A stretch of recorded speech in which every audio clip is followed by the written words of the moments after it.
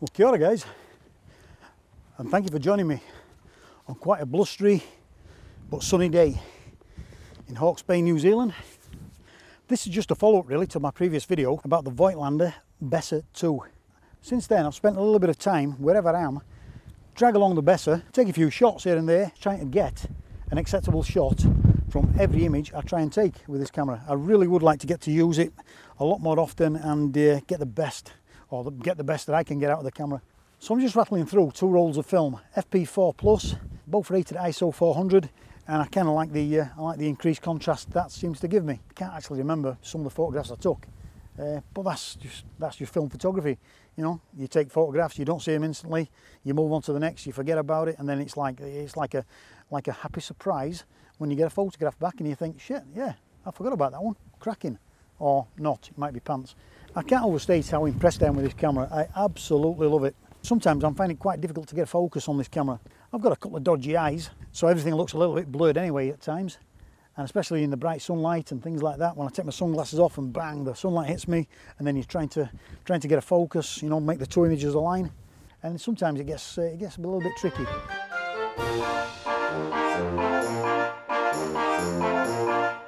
Where you going?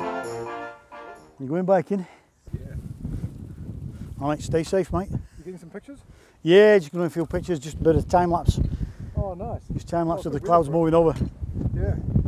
A few Oh, tornadoes down south. Yeah. Trying to avoid them. It's getting cold. Yeah. See you, mate.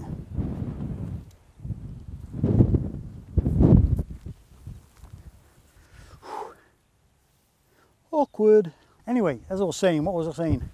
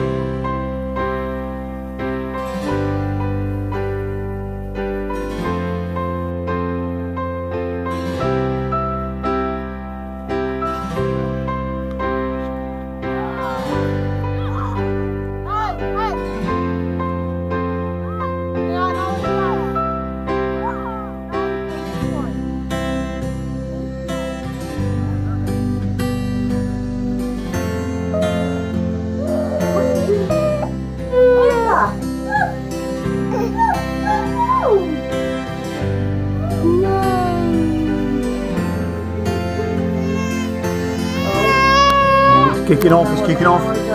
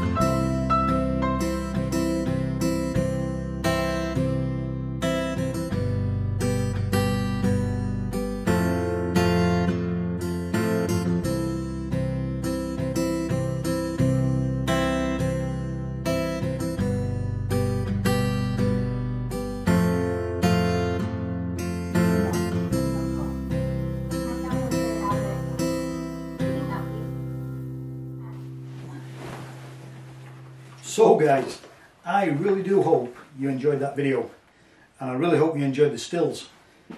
I'm so impressed, so impressed with this beautiful camera and the images it produces. They're not digitally sharp images, but they're certainly film sharp and they've got a character all of their own. I absolutely love them. This camera is so much fun to use. Saying that, let's pop the Bessa there. So that's the Bessa, which is an absolute joy to use. This one is also such a joy to use. I can't even remember how you open it. There you go. Look at that one. That is the Zeiss Ikonta M. And I've shot a video with this previously. There's a link above. This one I adore. Beautiful, beautiful camera. Anyway, back to the Bessa. The, the reason for this video. It's a beautiful piece of kit.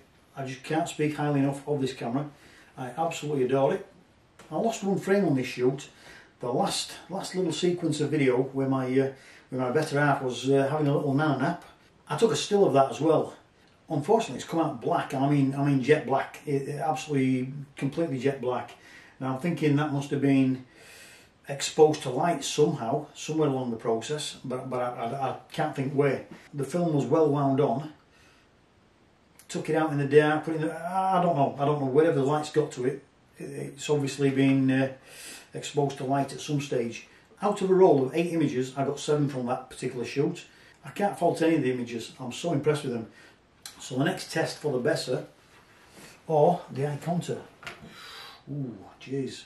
Now I think we'll go with the Bessa. So the next test for the Bessa is going to be to slip a roll of colour film in there. Kodak Ektar 100, really looking forward to that. Fingers crossed, maybe maybe in the morning if I get up in time, we'll give that a shot. Anyway, now guys, until next time, thanks for sticking with this, thanks for watching, I'll catch you next time.